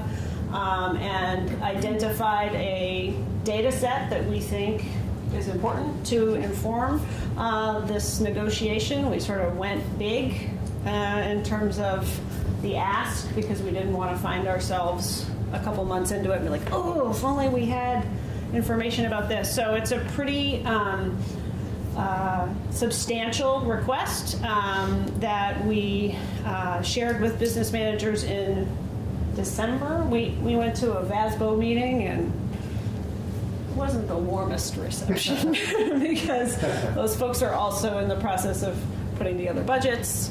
There's a lot going on with the statewide longitudinal data system that I'm sure you will hear about over the next couple of months, but there's been real challenges and strains based on the business office. So we agreed to sort of delay our request so that it wasn't coming at a time when it would just be impossible to respond to. So um, the deadline for um, getting the, the data, um, the completed spreadsheets was last week, and we have, I think, about 70% um, have submitted their data, which, given all the other stuff happening right now, is pretty amazing. Um, so the upshot is both parties are going to have a shared data set. So we are spending our time negotiating around, you know, what to do about what the numbers say, rather than our numbers say this, your numbers say that. So I think it's a really good, um, you know, it bodes well uh, in terms of at least um, putting in place some of the fundamental pieces here to, to ensure the process um, uh, is proceeding lawfully and productively. Um, so, Act 11 created a really clear timeline for the parties to negotiate this first statewide contract. Um, we think that was uh, very important uh, in order to ensure this process concludes so that local bargaining can, um, can proceed and not be sort of held up by what's happening at the state level. Um, under the law, bargaining has to commence by April 1. We expect the parties are going to meet before then. Um, we know representatives of the party are each side is meeting later this week to talk about meeting locations, dates, ground rules, those sorts of things. Um, so, given the preparations for bargaining that we've undertaken to date, I know Jeff and I have talked about, you know, should we be recommending changes to the process? We're asking for no changes to the process. I think they might have a couple of suggestions, but given where we are and the fact that um, you know we're in we're in active proposal development mode. If we start to make tweaks, even if it thinks it looks like a tweak, it can have a really profound ripple effect. So our our request is um, let's see how it goes um, this first time around. Understood. Can I ask you, does that apply to the date change? I know NEA had when the plans take effect. Yes. I do not view that as a process change. I view that as a technical. I mean, that we would we would either have to negotiate that because the the plans don't actually. You know, the plan year is January 1 to December 31st. So I think we could handle that um, through negotiations, but uh uh that type of a fix to clarify, I think what we heard from VEHI was, you know, make sure you're paying attention to that um, because you can't start people in new plans July 1. And what, uh, just for the committee, for people who weren't here, one of the hallmarks of this um, language was that it was unanimously approved by everybody in the room. Uh, We worked on it for about a month intensively. It came from a plan that NEA put out, uh, VSBA put out, and AFSCME, and we melded them together. And we, um, you know, spent a long time making sure everybody was on board. And at the end of the day, we had that agreement. That was key to passing it through the House without changes from the Senate. It was key to bringing AFSCME on board because they originally were um, a little. uh, Who's this? AFSCME is the uh, union that represents some of the, um, cus- American Federation of State, Yeah. County, Municipal Employees. yeah, and, and represents some of the employees in schools who are not teachers.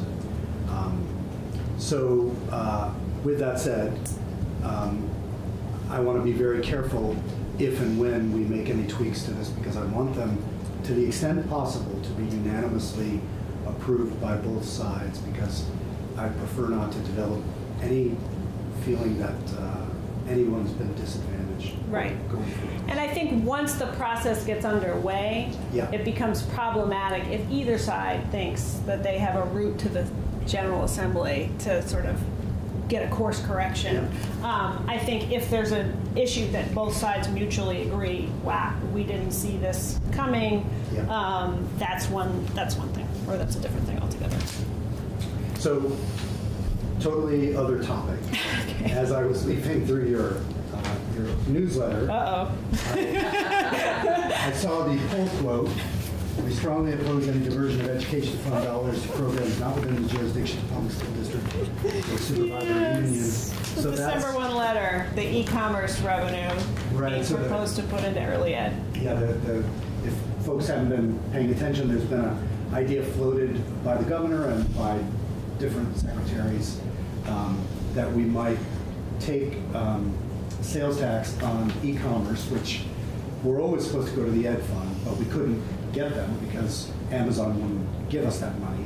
Now we have an arrangement that allows us to collect uh, six or seven million dollars a year. And the governor has proposed that we um, split that revenue stream, higher ed and early ed. Um, But the, the obvious rub of that is that's money that is otherwise supposed to go to the ed fund to keep people's tax bills low. So to the extent we divert, we're creating problems elsewhere. So just a heads up to the committee that probably in the end game, this will be something that we deal with more, you know, that is the last month. So just, you heard it. I'm happy to come back and talk with you about any topic in the newsletter or otherwise. Okay. Thank you very much. Thank you. Appreciate it. So Jeff, um, second of the usual suspects. Um, Jeff represents uh, NEA, teachers in the state. Want to give us a little, Sure. uh, just a little Uh, meet so, about your organization? First off, thank you for having me. Welcome. I, I think I know just about everybody here, but um, I'm Jeff Fannin, the executive director of Vermont NEA. Um, and uh, as Nicole pointed out, we, we're here with fair degree of frequency because this education committee work is important and near and dear to our heart. So um, you'll me or Colin Robinson, our legislative director, or Don Tinney, our our new president. Uh, Martha Allen was term limited out, our former president. Now we have Don Tinney, former teacher at BFA St. Albans, who I think somebody here knows. Never had a class with a police teacher when I was there. Yeah. Longtime teacher at BFA St. Albans. So It's, anyway, thank you. Produced us in the night. we we remind him of that. Oh. So that works. Um, so, um, uh, yeah, like I say, we um, thank you for having me here. Uh, I've got some written comments that I'll give to you later because I made some notes on them based on what Nicole said and in response to some of your questions, and I'll try to answer those or any others that you have uh, going forward. Um, the Act 11 Healthcare Bargaining Commission was uh, something we actually came to willingly, uh, given some circumstances and some background that I'll go through, I think, briefly here that I think are important for the committee to understand a little bit. Um, uh, to start, uh, the background, we got to passage, the passage of Act 11 is very necessary. Um, for two decades, Vermont EA Labor and Management, VSBIT, which is the Vermont School Boards Insurance Trust, operated well and operated VEHI, which is the Vermont Education Health Initiative, that offered health insurance to all school employees.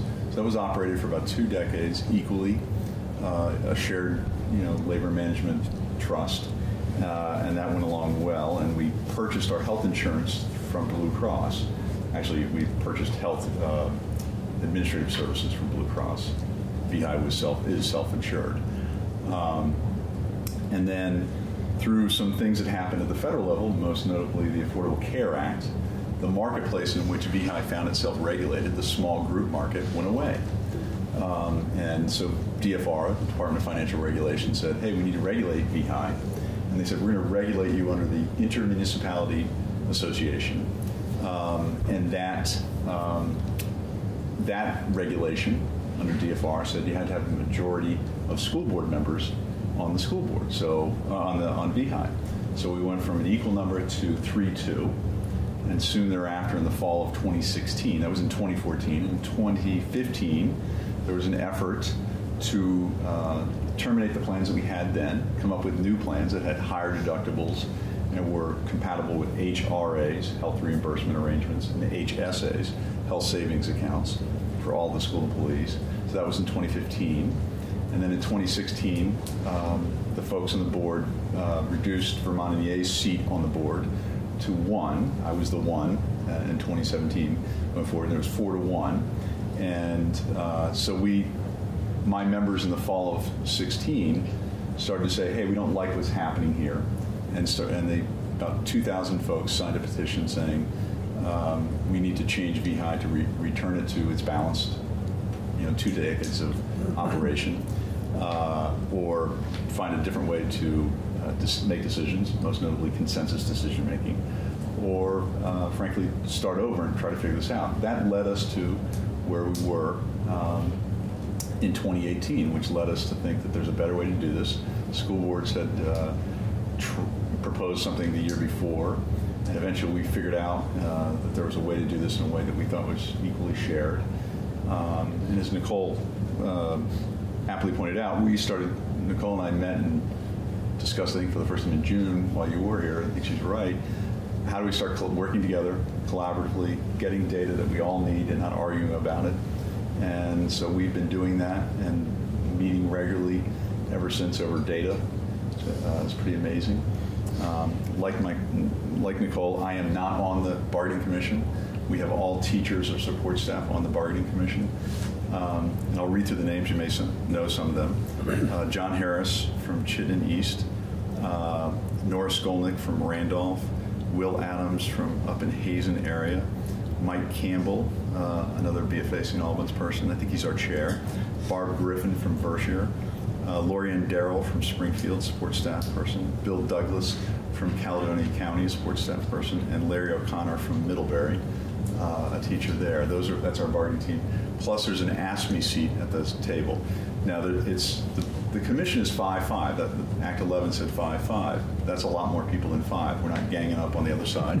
Um, we realized early on when we started talking with folks who might, we solicited volunteers, and somebody volunteered and said she was interested in participating. And then the, almost the very next month, she said, I can't. She had a family commitment or something like that. We realized that we wanted to have more people at the ready and able to step in. So we have four voting folks plus the AFSCME person, and then some non-voting people who, are, who will participate. So that in case one of the voting people has has to step aside for whatever reason, life happens, somebody can slide right in and is ready to go, and it doesn't um, affect the bargaining. So everybody, because as Nicole pointed out, dates are going to be hard to start coming by. Getting 10 people together, plus uh, we have Suzanne Durmeyer, our, our former elementary school teacher who advises our group. Uh, they have, they've got Joe McNeil, attorney in Burlington. Getting 12 or 13, whatever that is, people scheduled together is going to be tough. Jeff, can I just ask, you said you have these other people participating.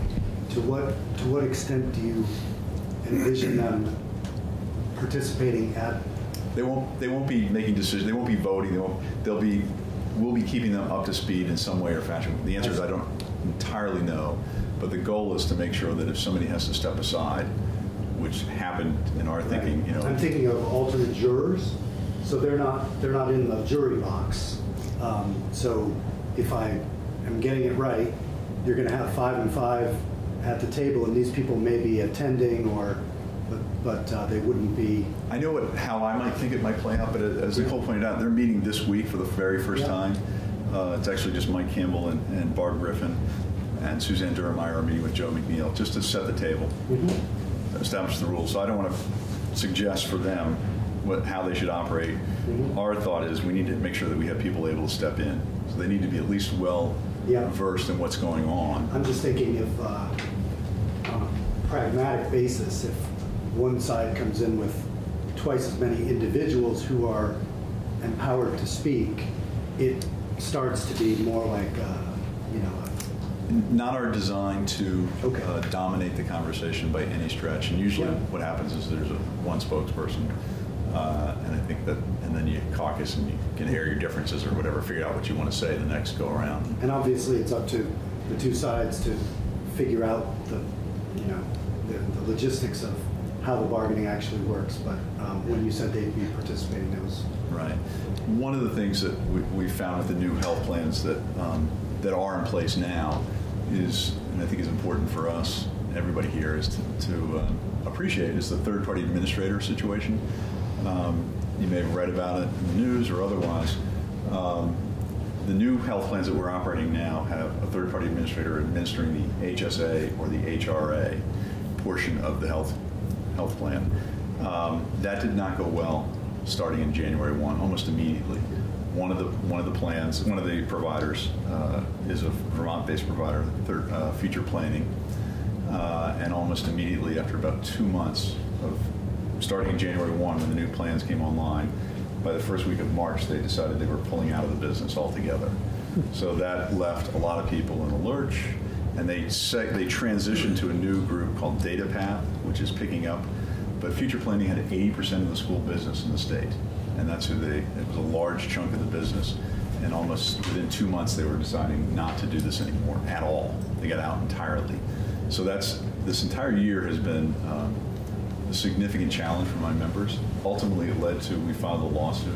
The Burlington Education Association and some 30 other local associations around the state have filed a lawsuit um, trying to uh, seek damages for all of the, the prob- problems that future planning's uh, weaknesses in administering the HSAs and HRAs led to. So that's that's a process that goes on. I don't think it's affected by you folks here, but you should be aware that that's out there, and it's a, a lawsuit that's that's rolling along. In fact, I think I saw an answer today to the lawsuit that was filed in December. Um, so that that continues on. Um, and we may be seeking some some help in that area, but it's unrelated to Act 11. Um, as I said, there's an AFSCME person on the board, on the bargaining commission. Um, uh,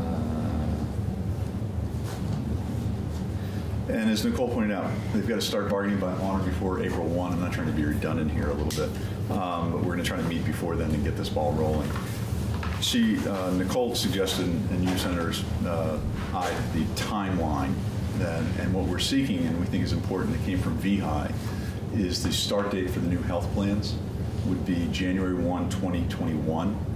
And the reason we think that's, and I think everybody thinks it's important, I think is largely in agreement, uh, is because the IRS, the way they treat HRAs and HSAs, it's a taxable thing, so you want to start that January 1. And, and just as we transition into these plans and this new round of bargaining, we think we got to start on January 1. So I think we're all in agreement on that in large measure. And, I- and I, I agree with Nicole, it's a technical change that, that doesn't affect bar, bargaining whatsoever. Um, here's where we vary, perhaps. Um, we, we think there are two other technical changes that are important. Uh, one is under Act 11.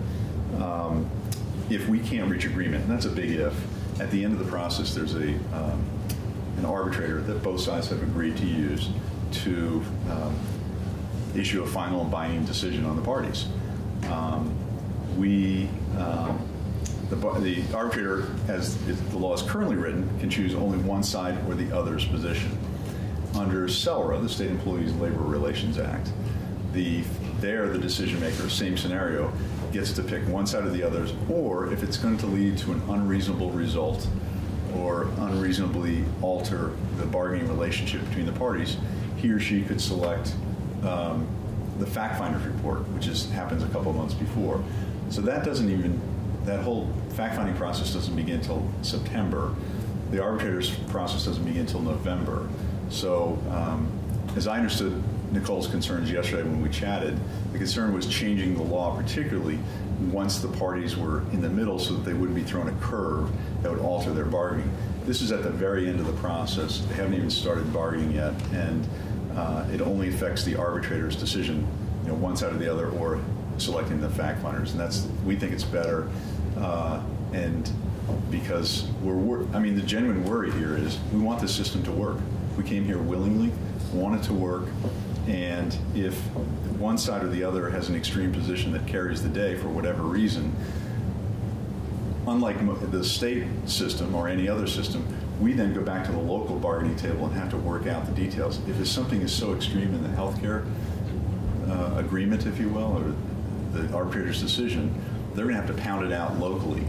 And, and we just think that that's going to kick the can down to that group when it shouldn't be. We should try to allow the arbitrator to come up with a remedy that either works for both sides uh, or one or the other that's not so extreme. That's our, our concern. Frankly, we want the system to work. Um, the other is currently other issue that we think needs technical correction is under Act 11 currently is drafted the um, first contract, but the, only the first contract allows for there to be a different health benefit for both teach, for teachers and a different benefit for support staff.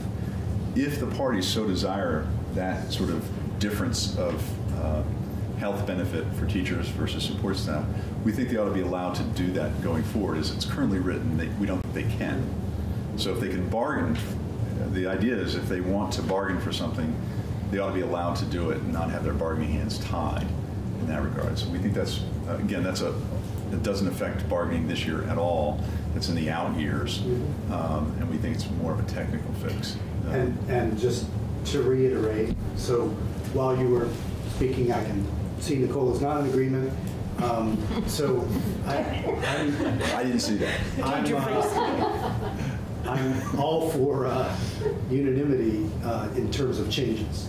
So uh, I heard Nicole say that even though she agrees with the January 1 start date, she might, her organization, her bargainers, might prefer to bargain that together rather than have the state um, make that change.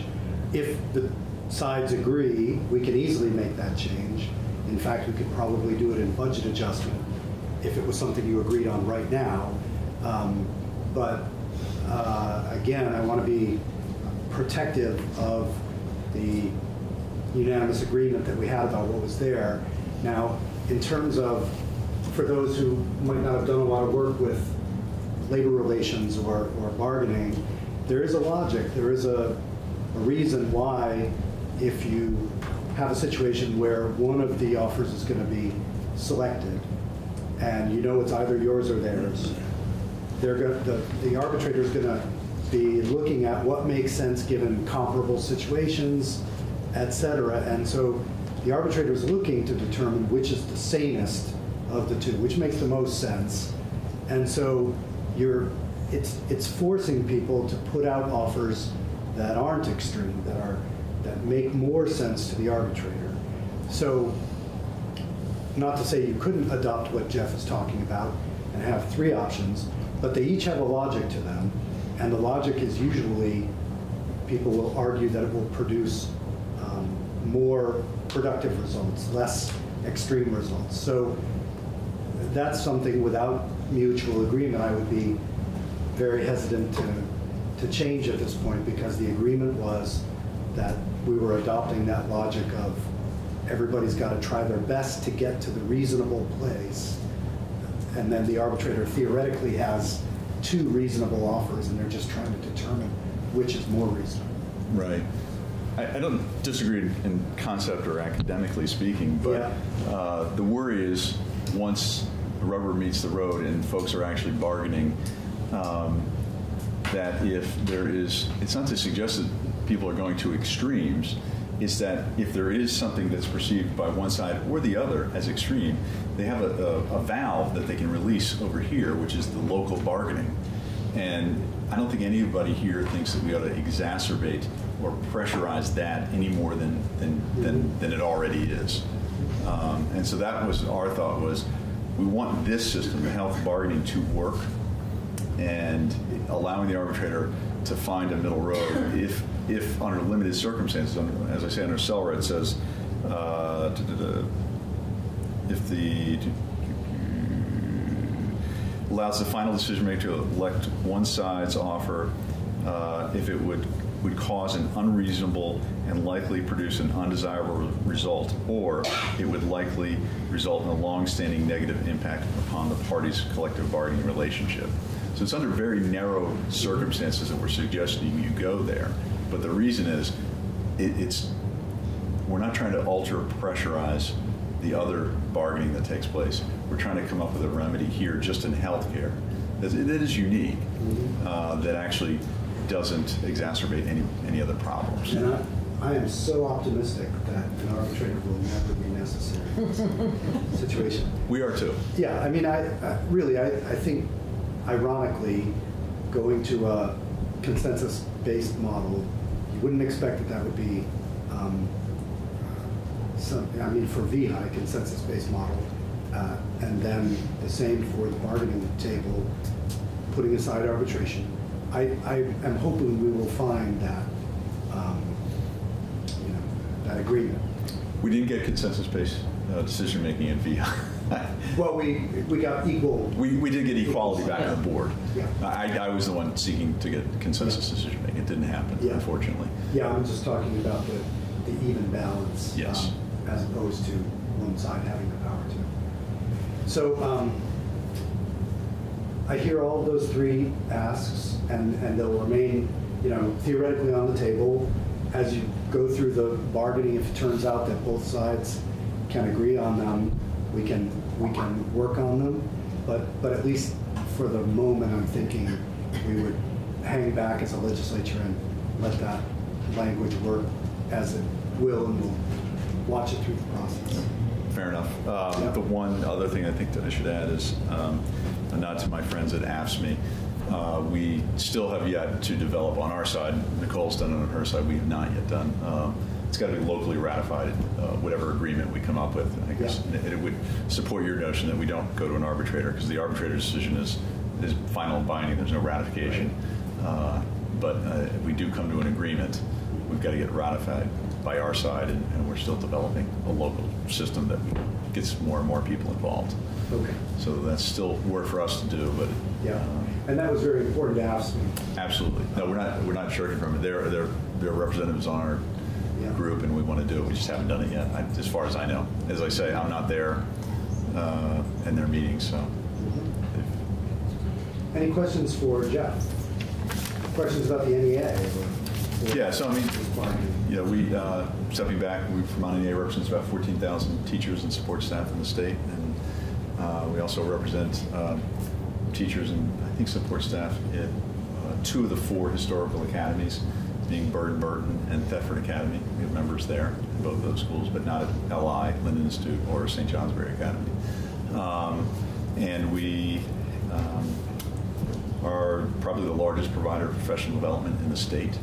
Um, We mentor you know, colleagues and work with schools to do that, uh, provide a lot of professional development to teachers and support staff uh, along the way. Um, bargain a lot of contracts. Every contract is open this year for bargaining. Um, So there's a lot of bargaining going on around the state. And Burlington agreed on one. Burlington ratified uh, this week, I think it was, or last week. Last week, Um, which was good because it was a strike last year. So they committed to doing more intensive work, relation building, communication building, uh, et cetera. And they were serious about it, and it seems to have worked, at least in a one-year contract. Right, I mean, I think they, well, I- my understanding was a two-year, but I may be wrong. I thought it was a one-year. Man, you may be right. Anyway, um, the, uh, it is a testament to the, both sides there. You know, coming out of a strike, a lot of times you hear stories of people being really upset and in the wound, and, and I don't discount that in the least, but uh, here they, they made a, a really concerted effort to put that behind them, work on the relationship, and they did that, and they came up with an agreement that I think both sides are happy about. Um, maybe not thrilled by, but happy about, that they got it done and behind them. And that was early in the process. Senator Reed? Um, Do the uh, rank and file members of the NEA support, uh, support this change? I mean, have you had any pushback or any fires you've had to put out, or does it Um, look like people are I think, satisfied? people, I think generally yes, but with reservations in as much as we've not done this before. Right. And there's a lot of curiosity and a lot of questions, and we are trying to be very proactive in getting information out, and I think there'll be more coming out in February as we uh, get closer to actually bargaining. I mean, a lot of the time is spent in the fall trying to figure out who we had on our team, what, you know, their roles, what we were thinking, data collection with Nicole. I mean, we spent a lot of a lot of the hard work that we were trying to get done. Uh, we did get done in the fall largely, and uh, data is still a collection work in progress, but it is happening.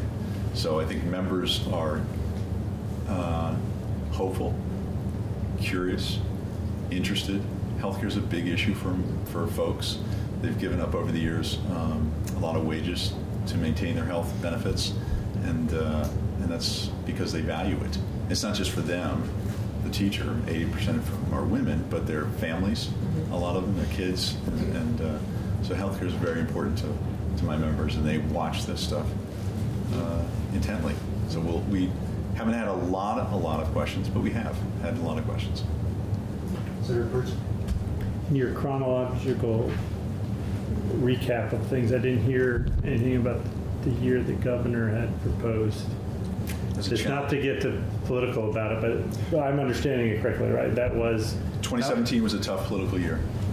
I'll say it that And then it came after, that was in 17 and that That was The next year, you guys came forward and said, oh, let's figure this out in a different way. basically. Right, right. We um, had our annual meeting in the spring of 2018 and had a healthy, vigorous conversation about healthcare, and uh, largely decided that um, the membership voted they wanted to try a different route, and uh, one that we can get everything we wanted. It was, as Senator Bruce said, it was uh, something that we all uh, acknowledged that, that this was advancing the cause, and we want to see this work. And just to pick up on Andrew's um, point, uh, again, for, for members of the committee might not have been following along really carefully, the last two years, the Education Committee was sort of ground zero for asks that the governor made in the very last weeks of the session, backed by a veto threat of the budget and the tax bill. And so the last two sessions, uh, I was here all of, literally all of June, um, and we passed a third budget to the governor with, you know, 14 hours left to go before the government would shut down, and he agreed to let it become law. So there's been a lot of brinksmanship um, without uh, putting a partisan spin on it. I think it's fair to say that it, it's just a, because of the way we pay for education through the property tax, it's a, it's a perennially infected issue. And so what I tried to do last year was have a plan for this committee to go through the end game. So this legislation was our plan. It was something that we knew the administration would be interested in. It was therefore something we could offer the governor in, in the event of the inevitable threat. And yet we wanted it to be something that the, the parties could agree on. So we produced the legislation, we stuck it in a folder, and left it there for most of June, and then it went into the final offer, and the governor could accept it. All the way of saying, jump ahead to this year in May, probably there will be some frame that we can't yet anticipate that will dictate our lives.